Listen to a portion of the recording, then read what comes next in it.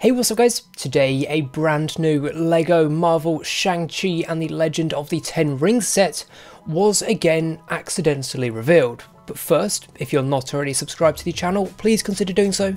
I post all sorts of LEGO related videos and I'm sure you'd find them interesting.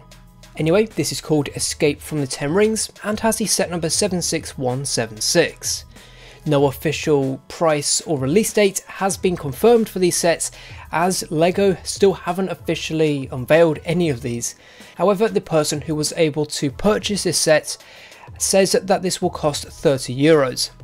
This is the second Shang-Chi and the Legend of the Ten Rings sets to be revealed early from just toy stores putting these out on shelves early as we did have, I can't remember the name of it, but it was this dragon in the background here as they've kind of combined two sets into this image here.